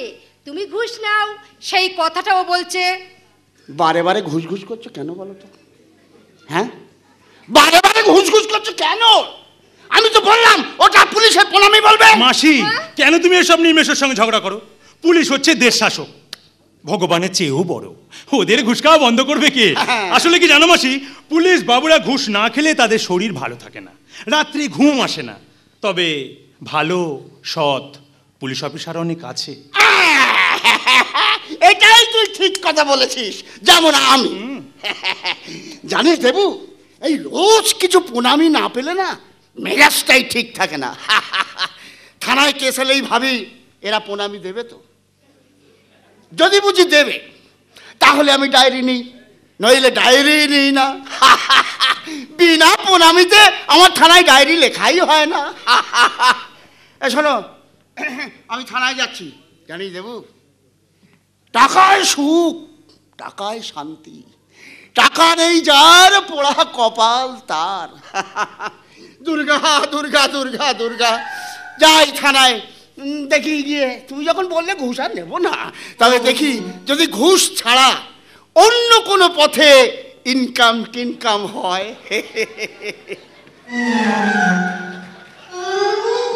ওটা গেছে ভালোই হয়েছে। তোকে একটা কথা জিজ্ঞাসা করছি দেবু। হ্যাঁ বলো। তুই আজকাল অন্যমনস্ক হয়ে থাকিস কেন বলতো? তাই তুই ঠিক মতন ঘুমাস না ঠিক মতন ভাত খাস না। কি হয়েছে তোর? তুমি তো জানো মাসি অতসী অতসীকে আমি ভীষণ ভালোবাসতাম। তা জানি না কিন্তু অতসীর দাদা রঘুনাথ বাবু তো অতসীর বিয়ে তোর সঙ্গে দিল না? তার ফলটা কি হয়েছে দেখো? পরশুদিন ওই ঝিলের পরে হঠাৎ অতসীর সঙ্গে দেখা হয়েছিল। ও বলল ওর স্বামী নাকি করে হচ্ছে মারধর করে নানা রকম অত্যাচার করে। তাই অতসীর বড় দুঃখ। ও বোধহয় স্বামীর ঘর করতে যাবে না। তাই নাকি? দেবু তুই তো এ বাড়িতে থাকিস না। চাষবাস করিস একটা ঘর নিয়ে একাই থাকিস। বিয়ে থাও তো করলি না। তাই বলছিলাম সত্যি সত্যি অতসী যদি আর কোনোদিন শ্বশুর বাড়িতে ফিরে না যায় আবার যদি তোকে ভালোবাসতে চাই তাহলে ওকে তুই বিয়ে করবি?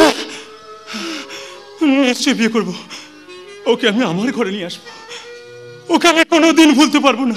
মন থেকে মাসি মাসি এই কথা কিন্তু শুধু তোমাকেই বললাম। কারণ তুমি তো আমার মাসি নও তুমি আমার মা। মা? আমি মা, কিন্তু আমার কোলে তো কোনো সন্তান হয়নি। আমি তো মা হতে পারিনি। তোমার পেটে না হলেও আমি তোমার ছেলে, তুমি আমার মা। দেখো দেখো আমি চাষি, সোজা, সরল।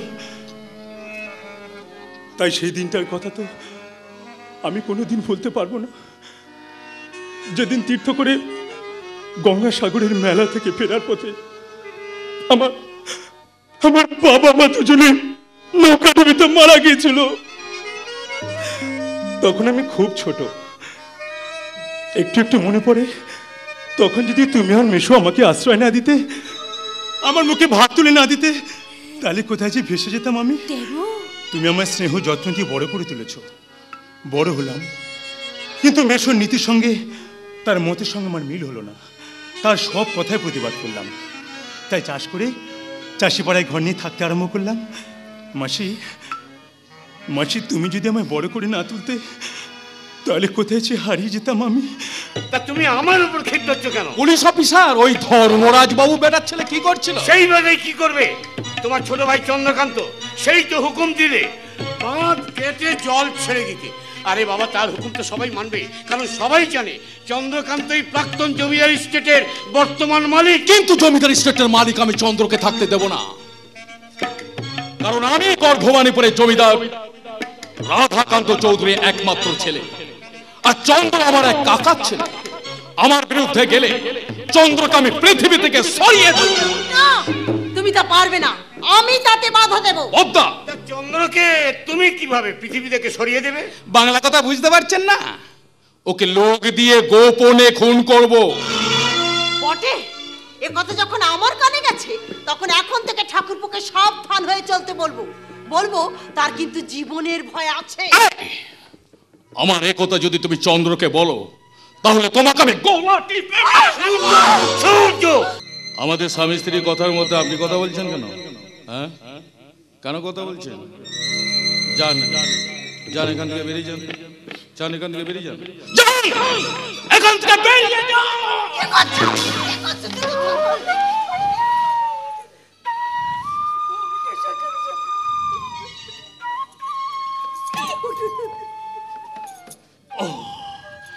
সূর্য তুমি তুমি আমাকে ঘাড় ধাক্কা দিলে। না না আর তোমাকে ঘাড় ধাক্কা দিতে হবে না সূর্য। আর তোমাকে ঘাড় ধাক্কা দিতে হবে না। আমি আমি আজই বাড়ি ছেড়ে চলে যাচ্ছি। তবে আমি ভাবছি তুমি কি সেই সূর্য? যাকে আমি কোলে পিঠে করে মানুষ করেছি। তোমার বাবা যখন মারা যান, তখন তোমার বয়স দশ বছর।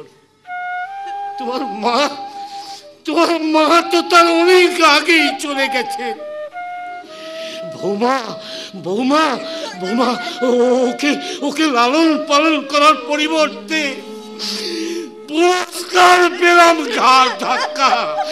দেখো দেখো বৌমা, দেখো, চোখ দুটো কেমন জলে ভরে গেছে। কিন্তু না, আমি কাঁদবো না, আমি কাঁদবো না, আমি অভিশাপ। আমি অভিশাপ দেব না।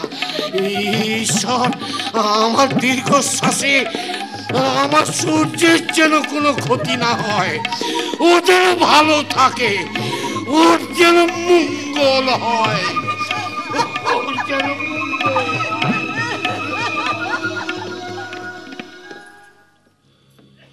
ভালো তোমার হবে না। ভালো তোমার হবে না। বাপের বয়সে মানুষটাকে তুমি ঘাড় ধাক্কা দিলে, বলে তোমার মনুষ্যত্ব বলে কিচ্ছু নেই? এই শোনো, ভিকিরির মেয়ে তুমি, আমাকে মনুষ্যত্ব শিখিও না। বরং মনটাকে আনন্দে ভরিয়ে রাখো, কারণ তোমার গোপন ভালোবাসার পাত্র দেওর চন্দ্রকান্ত আসছে। কিন্তু মুশকিল হবে।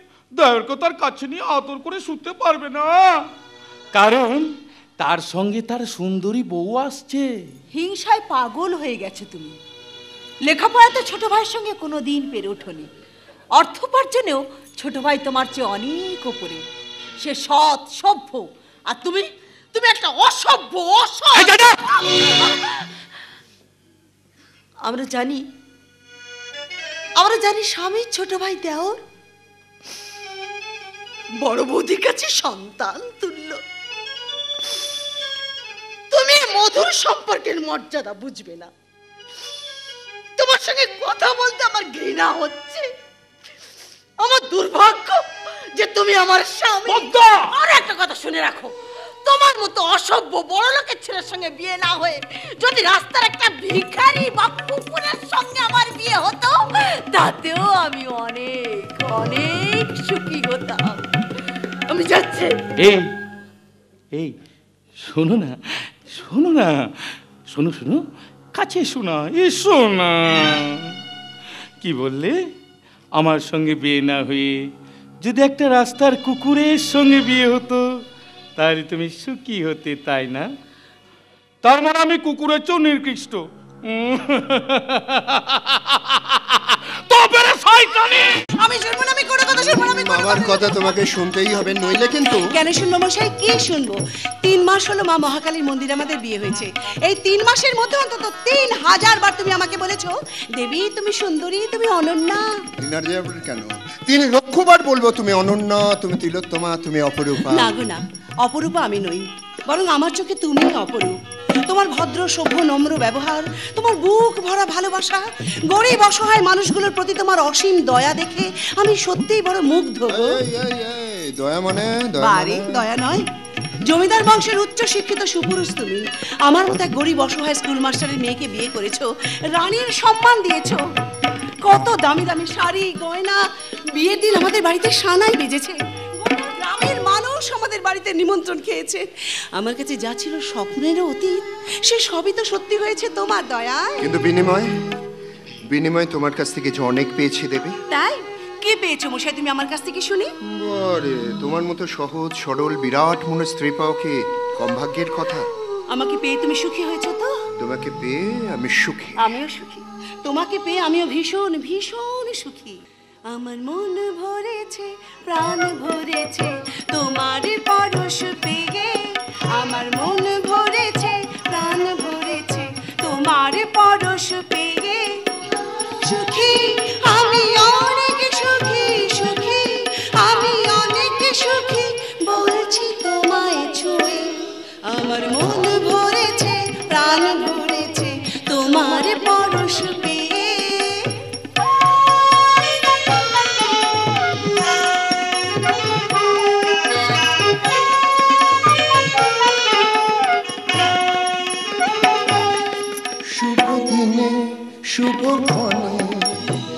পেলাম তোমায় সাথে। ভালোবাসা স্বর্গ করে তোমায় রাখি তাতে, তোমায় রাখি তাতে। শুভ দিনে, শুভ ক্ষণে পেলাম তোমায় সাথে। ভালোবাসা স্বর্গ করে তোমায় রাখি তাতে।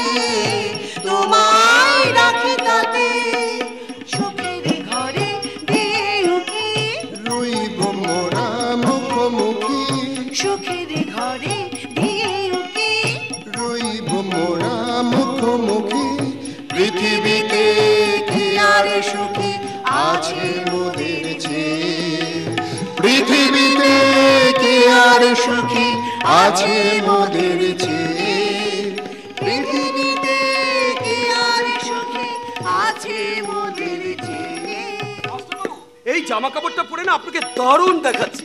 এটা জামাই দিয়েছে বোধ হ্যাঁ রঘু। দেবী মায়ের বিয়ে হয়েছে মানে আমার নবজন্ম হয়েছে। এত বড় ঘর যে দেবীর বিয়ে হবে আমি স্বপ্নেও ভাবিনি। সবই তো দেখেছ বিয়ে বাড়ি সাজানো থেকে সানাই আনা। বিরাট প্যান্ডেল করা গ্রামের সব লোকজনদের খাওয়ানো। সবই ওই চন্দ্রকান্ত করেছে।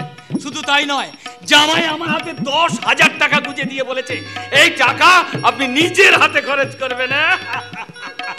আমার জামা কাপড়টা দেখেছ তো? আমার মেজাজটাই আজ অন্যরকম হয়ে গেছে। এই জন্যই বলে, জন্ম, মৃত্যু দিয়ে এই তিন কর্ম বিধাতাকে দিয়ে দেখলেন তো? শাস্ত্রের বাক্য কখনো মিথ্যে হয় না? আমি আমি।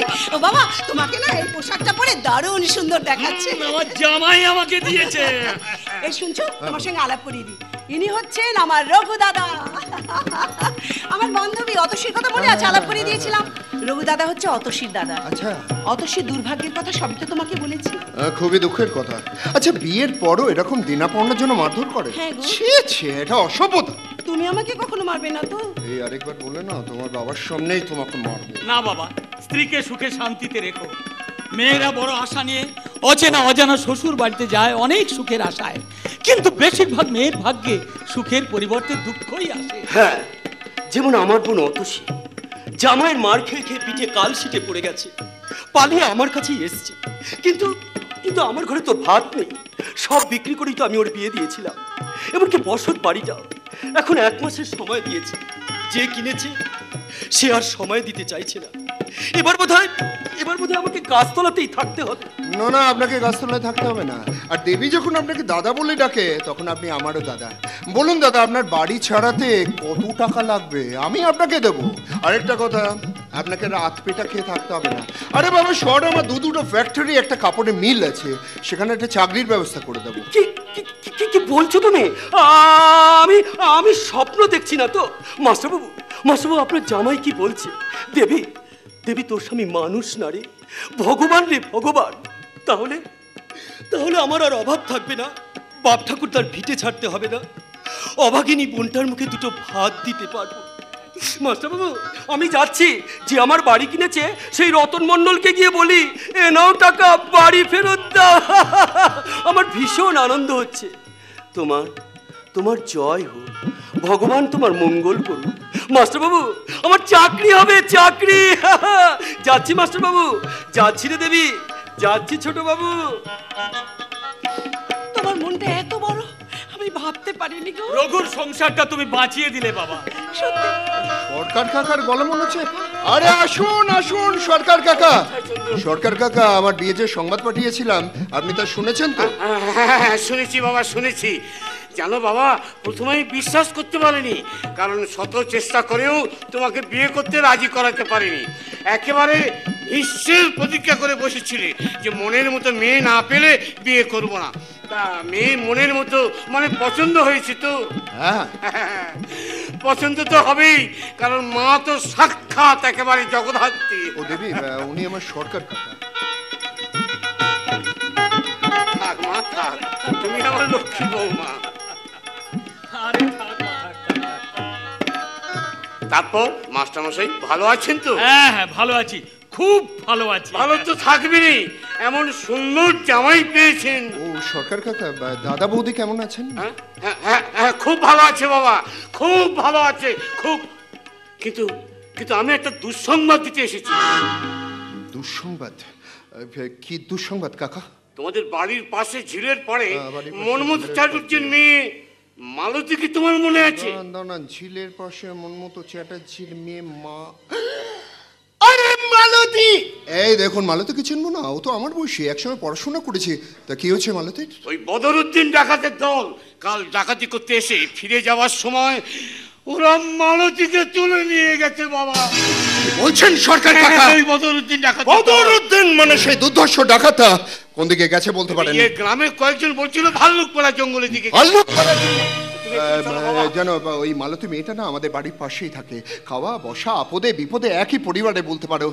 ওকে বদরুদ্দিন ডাকা তুলে নিয়ে গেছে নিশ্চয় বেইজ্জত করবে বটে কিন্তু না! না, আমি তা কিছুতেই হতে দেবো না। সরকার কাকা আমি এক্ষুনি ভাল্লুকপাড়া জঙ্গলে যাব। আপনি এক কাজ করুন আপনি ড্রাইভারকে বলুন গাড়ি স্টার্ট করুন ঠিক আছে বাবা আমি যাচ্ছি। তবে তবে তুমি যেন দেরি করো না বাবা। তুমি যেন দেরি আমি এখন আছি এখন আসছি দেবী ইয়ে, সব কথা তো শুনলে। আপনি তো শুনলেন। হ্যাঁ শুনলাম। কবে ফিরে আসবে তুমি? দাদা বলতে পারছি না। দেরি হতেই পারে কারণ কখন কি পরিস্থিতির মধ্যে পড়ব সেটা তো জানি না। তাহলে তাহলে দেবীকে তুমি সঙ্গে নিয়ে যাও বাবা। মানে এই আপনি কি বলছেন? দেবীকে সঙ্গে করে কি করে নিয়ে যাব? আমি যাচ্ছি জঙ্গলে সেটা একটা দুর্ধর্ষ ডাকাতের আড্ডায়। না না না না মালতীকে উদ্ধার করে তারপর আমি দেবীকে নিয়ে বাড়ি যাব। দেখুন ও আমার স্ত্রী ওকে তো আর এমনি হাত ধরে নিয়ে যেতে পারব না। আত্মীয় স্বজনকে খবর দিতে হবে আমার বৌদি আসবে। তারপর গাড়ি করে জমিদার বংশের স্ত্রীর মর্যাদা নিয়ে বাড়ি ঢুকবে। না না না, ওর সময় দরকার নেই বাবা। তুমি ওকে হাত ধরেই নিয়ে যাও। দেখো পল্লীগ্রামের মানুষ আমরা। এতখানি বয়সে অনেক দেখেছি শহরের অনেক ধনীবাবুরা এসে গ্রামের সুন্দরী মেয়েদের নানা প্রলোভন দেখিয়ে বিয়ে করে। তারপর কিছুদিন এখানে থেকে কোনো না কোনো অজুহাত দেখিয়ে চলে যায়। পরে গ্রামের সেই স্ত্রীকে আর স্বীকারই করে না। এরকম উদাহরণ বুড়ি বুড়ি আছে বাবা। আমা- তোমার সঙ্গে যাব। আমি যাব আমাকে নিয়ে চলো। লোকে যে আমাকে নিয়ে চলো। আমি তোমাকে ছেড়ে থাকতে পারব না। আমি যাব আমি যাব। তুমি জানো না তুমি জানো না বাবা ঠিক কথা বলেছে। আমাদের আমাদের এই গ্রামের আমাদের গ্রামের বাউন পাড়ার বিন্দু মাসি। বিন্দু মাসিকে বিন্দু মাসিকে শহরের মল্লিক বাড়ির একটা ছেলে ভালোবেসে বিয়ে করেছিল। তারপর বিয়ের কিছুদিন পর কি যেন একটা অজুহাত দেখিয়ে চলে গেছে। আর ফিরে আসেনি। সেই থেকে বিন্দু মাসি আজ পর্যন্ত স্বামী পরিত্যক্ত হয়ে দু চোখের জলে বুক ভাসিয়ে দিন কাটাচ্ছে। না আমি যাব আমি যাব আমি নিয়ে চলো লোকে আমি যাব আমি যাব আমি তোমার সঙ্গে যাব দেবী আমি দেবী দেবী শোনো ঘটনার গুরুত্ব বোঝার চেষ্টা করো। আচ্ছা তুমি তো একটা মেয়ে আর একটা মেয়ের ইজ্জত নষ্ট হওয়ার কথা শুনে তোমার কি ব্যাপারটা ভাবা উচিত না, আমি ভাবতে পারছি না আমি কিচ্ছু ভাবতে চাই না। আমি শুধু তোমার সঙ্গে যেতে চাই। আমাকে নিয়ে চলো আমাকে নিয়ে চলো আমাকে নিয়ে চলো দেবী দেবী দেবী দেবী শোনো আমি যাচ্ছি জঙ্গলে সেটা একটা দুর্ধর্ষ আর ডাকাতের আড্ডায়। সেই ডাকাতের আড্ডায় আমি তোমাকে কিছুতেই নিয়ে যেতে পারব না। কি বললে? নিয়ে যেতে পারবেন না? তাহলে কি আমি বুঝব? শহরের আর পাঁচটা ধনী ব্যক্তির মতো তোমারও এটা একটা সাজানো ঘটনা? দেবে কে বলছো তুমি? এখন তোমার মনে হচ্ছে সব তোমার প্ল্যান সব তোমার সাজানো? ওই যে ওই যে তোমার ড্রাইভারকে দিয়ে তোমার বাড়িতে বিয়ের খবর দিয়েছিলে? সেই সময় হয়তো তুমি ঠিক করে রেখেছিলে। মাস তিনেক বাদে কোনো একজন এখানে আসবে। কোনো একটা দুর্ঘটনার খবর দেবে। আর সেই সুযোগ নিয়ে তুমি এখান থেকে পালিয়ে যাবে। না না আমি হতে দেবো না। আমি তা কিছু দেখাতে দেবো না। আমি কিছু দেই আমি আমি আরেকটা বিন্দু মাসি হতে চাই না আমি আরেকটা বিন্দু মাসি হতে চাই। দেবী তাহলে কি তুমি আমাকে বিশ্বাস করো না? বিশ্বাস অবিশ্বাসের কথা নয়। স্ত্রী স্বামীর সঙ্গে যেতে চেয়েছে। কিছু অন্যায় তো করেনি। আমি আমি আমি কেন যাচ্ছি? কোথায় যাচ্ছি? কত বড় ঘটনা সেটা বুঝবেন না? না আমি বুঝতে চাই না। আমি কিচ্ছু বুঝতে চাই না। তোমার এই মালতীকে আমি চিনি না আমি চিনতেও চাই না। কিন্তু তুমি তুমি আমার স্বামী। তোমাকে আমি একা ওই ডাকাতে রাড্ডা কিছুতেই যেতে দেবো না। প্লিজ নিয়ে চলো আমাকে। আমাকে নিয়ে চলো আমি যাব। দেবী আমি যাব। দেবী শোনো। আমি যাব। তোমাকে আগেও বলেছি এখনও বলছি তোমাকে আমি ডাকাতের আড্ডায় নিয়ে যেতে পারব না। এটাই আমার শেষ কথা। শেষ কথা? শেষ? ও এবার আমি বুঝতে পারছি। এবার আমি বুঝতে পারছি সব তোমার অভিনয়। সব তোমার অভিনয়।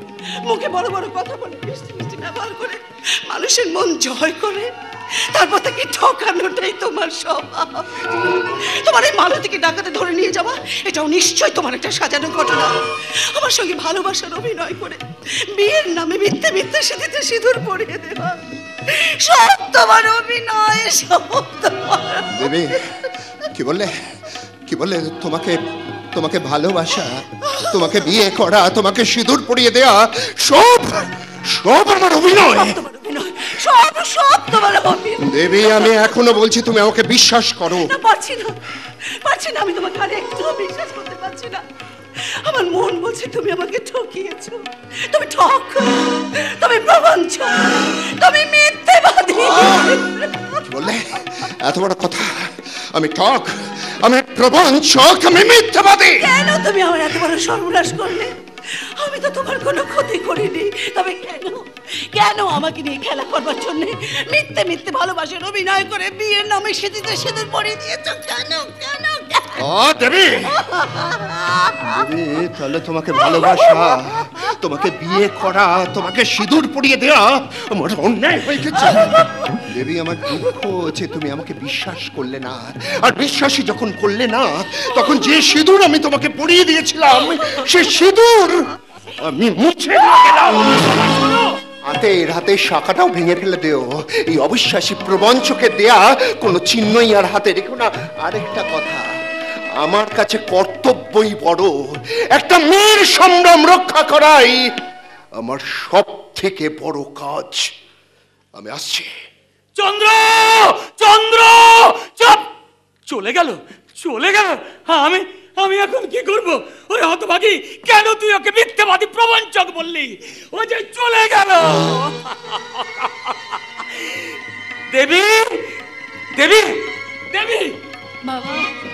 দেবী? বাবা। দেবী? বাবা কি হয়ে গেল বাবা? বাবা কোথা থেকে সব কি হয়ে আমার সিঁদুর। মাথাটা ঘুরছে বাবা। দেবী। মাথাটা ঘুরছে। দেবী। মাথাটা ঘুরছে। দেবী।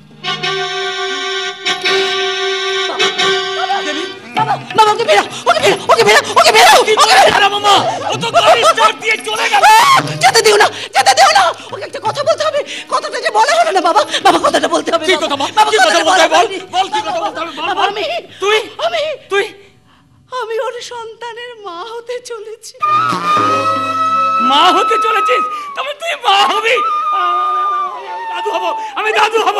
আমার কি আনন্দ, আমার কি আনন্দ? আমি গ্রামের সবাইকে ডেকে ডেকে বলব, আমি দাদু হব, আমি দাদু হব।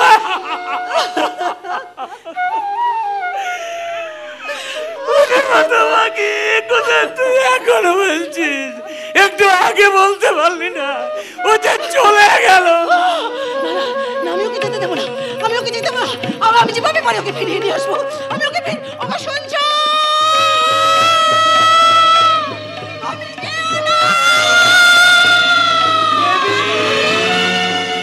ওকে শুনছ? তোমার দেওর হিজলডাঙ্গায় দেবী বলে একটা ডাইনিমিকে বিয়ে করেছিল কিন্তু সে বিয়ে ভেঙে গেছে। বিয়ে ভেঙে গেছে? হ্যাঁ। তা মেয়েটাকে তুমি ডাইনি বলছো কেন? আরে ডাইনি ছাড়া কি? বিয়ে হয়েছে তিন চার মাস এর মধ্যেই বিচ্ছেদ হয়ে গেল। কেন সরকার মশাই তোমায় কিছু বলেনি? কই না তো। হুম আমি কিন্তু সব ঘটনা জানি। পরে তোমায় সব বলব হ্যাঁ? নমস্কার সূর্যকান্ত বাবু। কে? আরে অর্জুন আয় আয় আয়। তুমি এখন যাও পদ্মা। একটু পরে গিয়ে তোমাকে সব ঘটনা বলব। আচ্ছা। গুন্ডাটা আবার এসেছে। বল অর্জুন কেমন আছিস? ভালো নেই স্যার ভালো নেই। সালা এত বয়স হয়ে গেল এখনও পর্যন্ত একটা বিয়ে হলো না। জোর করে মেয়েদের উপর অত্যাচার করলে কি আর মন ভরে স্যার? একটা পার্মানেন্ট বউ তো চাই। তাহলে গ্রামের একটা সুন্দর মেয়েদেরকে বিয়ে কর টাকা যা লাগে হ্যাঁ সে তো আমি জানি। জানেন সূর্যকান্ত বাবু হ্যাঁ। আমাদের গ্রামের ওই মে- যে দেবী বলে মেয়েটা ওই মেয়েটাকে তো আপনার ছোট ভাই চন্দ্রকান্ত বাবু বিয়ে করে নিয়েছে। বিয়েটা অবশ্য ভেঙে গেছে। শুনলাম আপনার ছোট ভাই চন্দ্রকান্ত বাবু নাকি দেবীর সিঁদুর মুছে দিয়ে চলে গেছে। অন্য আরেকটা মেয়েকে উদ্ধার করার জন্য। তাই নাকি? হ্যাঁ। তা তুই কি বলতেছিস বলছিলাম যে আমাদের ওখানকার থানার ওসি ওই সালা ধর্মরাজ বাবুকে বলে ওই হরলাল সুড্ডাকে একটা মিথ্যে কেস খাইয়ে গ্যারেজ করে হাজতে ঢুকিয়ে দিই ও সালা সুড্ডা বাড়িতে না থাকলে দেবী বাড়িতে একা থাকবে? আর সেই সুযোগে গিয়ে আমি আমার মনের বাসনাটা পূর্ণ করব। এই দেবী মালটাকে আমার চাই গো আহ, শালিকে যাতে যাতে হয়েছে না তা হ্যাঁ হ্যাঁ অর্জুন হ্যাঁ বলুন। তা আমার কথা মতো যদি ওসি হ্যাঁ। দেবীর বাবাকে মিথ্যা কেসে ফাঁসিয়ে লকআপে ঢুকিয়ে দেয় তাহলে তার বিনিময়ে তুই আমাকে কি দিবি? ও সালা আপনি যা বলবেন তাই করব। তাহলে আমি যখন যা বলব তখন তোকে তাই করতে হ্যাঁ তাই করব। যদি বলেন কোনো সালাকে তুলে দিয়ে কেলিয়ে দিতে হবে কেলিয়ে দেবো। যদি বলেন কোনো মালকে মেরে সাইজ করে লাশটা গায়েব করে দিতে হবে তাই করে দেবো। আরে ওসব তো অর্জুনের দুতুরির কাজ। ঠিক আছে ঠিক আছে। তাহলে ওই কথাই রইল। একদম পাক্কা। আমি ধর্মরাজ বাবুকে বলে দেবীর বাবাকে লকআপে ঢুকিয়ে দেবো। আপনার শেষ কথাটা শুনলাম সূর্যকান্ত বাবু। কিন্তু দেবীর বাবাকে লকআপে ঢোকাবেন কোথা থেকে? দেবী আর দেবীর বাবা তো এই গ্রামে থাকে না। গ্রাম ছেড়ে চলে গেছে। কোথায় গেছে? তা আমি কি করে জানব? আপনার ছোট ভাই আপনার ছোট ভাই চন্দ্রকান্ত বাবু যে দেবীর স্মৃতির সিঁদুর মুছিয়ে দিয়ে চলে গেছে সেটা জানাজানি হতেই লজ্জায় অপমানে ঘৃণায় তারা গ্রাম ছেড়ে চলে গেছে। কোথায় গেছে কেউ জানে না। সালে যাবে কোথায়? ওপরে গেলে তো আর খুঁজে পাবো না। কিন্তু পাতালে গেল সালা মাটি খুঁড়া তুলে নিয়ে আসব শালিকে শুনুন ধর্মরাজ বাবু। বলুন স্যার। দেবীকে পাওয়া গেলে হ্যাঁ। দেবীর বাপকে একটা মিথ্যা কেসে ফেলে থানায় ঢুকিয়ে দেবেন। কেন স্যার? দেবীর বাবা হাজতে থাকবে হ্যাঁ। দেবী বাড়িতে একা থাকবে। আর সেই সময় অর্জুন গিয়ে দেবীকে একটু আদর টাদর করবে। ঠিক আছে স্যার ঠিক আছে। অর্জুন এই না দাস থ্যাংক ইউ ও ধর্মরাজ বাবু বলে যান বলে যান। আরে এই দিয়ে গরুর আপনারও আছে যদি না নেবেন আমি আবার নিয়ে।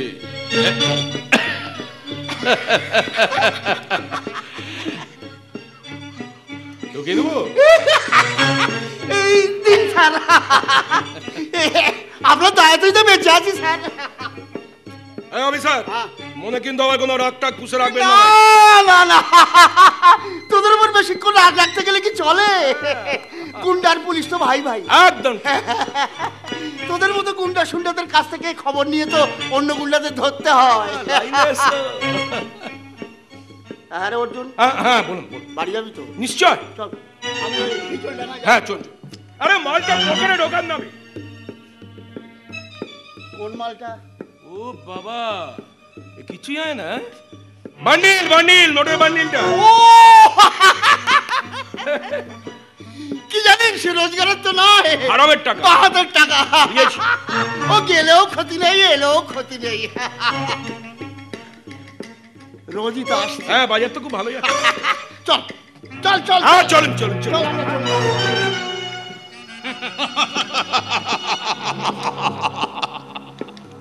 দুটো যেন টাকায় কেনা গোলাম?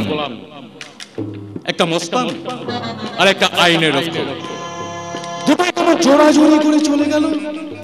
কিন্তু দুটোই শয়তান। হাতে ওকে দিয়েই চন্দ্রটাকে শেষ করে দিতে হবে। আরে সম্পত্তি পাওয়ার জন্য কত লোক বাপ ভাইকে খুন করছে? সে তো ইতিহাসের পাতা খুললেই দেখা যাবে। ঔরঙ্গজেব মির্জাফর এরকম শত শত। তাহলে আমার কেন দোষ হবে? না না না না। মোট কথা সম্পত্তি আমার চাই চাই। তাড়াতাড়ি বলো তো কি বলবে? বলো দেখি বলো। পাচ্ছি না হ্যাঁ। পূর্ণিমা কদিন আগে দেবীর বিয়ে হয়েছে। হ্যাঁ। আর এরই মধ্যে দেবীর স্বামী দেবীকে ছেড়ে চলে গেছে। শুনলাম তো তাই ওই বড় লোকের বাচ্চাটা যাবার সময় নাকি দেবীর স্মৃতির সিঁদুর মুছে দিয়ে গেছে। সে কি? এসব কি বলছো তুমি? এ যে আমি ভাবতেও আরে পারছি না। কেন ভাবতে পারছ না? আমি তো ফুল সজ্জার দিনেই বুঝেছিলাম তেলে আর জলে যেমন মিশ খায় না তেমনি বড় লোকের ছেলের সঙ্গে গরিব ঘরের মেয়ের বিয়েও কখনো টেকে না। ছেলেটা বলল বিয়ে করব? দেবী লাফিয়ে উঠল আর তোমার জামাইবাবু দিয়ে দিল। এই আর একটা কথা শুনেছো? কি কথা? দেবী আর ঠাকুর জামাই নাকি গ্রামে মুখ দেখাতে পারে না ওদের নিয়ে সবাই হাসাহাসি করে। এত বড় ঘটনা ঘটেছে কই জামাইবাবু তো আমাকে একটা খবরও দেয় খবর দেওয়ার প্রয়োজন মনে করেনি বলি তুমি তো তার আপন ছাড়া নাও। বিনা পয়সার বিয়ে বড় লোকের ছেলেকে ভালোবেসেছে। ছা ছা ছা ছা, ছা ছা। রমেশ রমেশ। এ, থাক থাক থাক তোমাকে আর উঠতে হবে না। আয় আয় দেবী। একই ঠাকুর জামাই আপনার হাতে বাক্স দেবীর হাতে পোটলা দুজনেই একসঙ্গে এসছেন কি ব্যাপার বলুন তো? সে একটা সাংঘাতিক ঘটনা।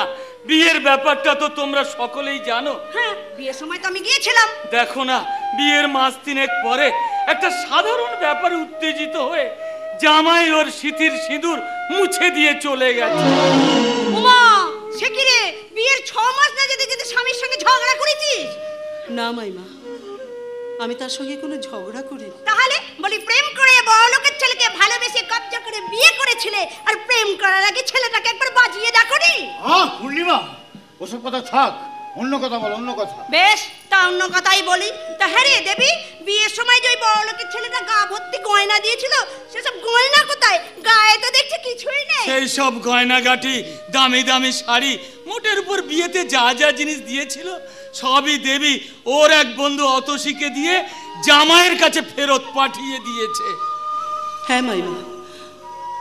মানুষটা যখন আমার শীতের সিঁদুর মুছে দিয়ে আমার সঙ্গে সব সম্পর্ক ত্যাগ করেই চলে গেল, তখন তার দেওয়া শাড়ি, গয়না, বোঝা বয়ে বেরিয়ে কি লাভ হবে, মাইমা? মাইমা, মেয়েরা তো শিব ঠাকুরের পুজো করে।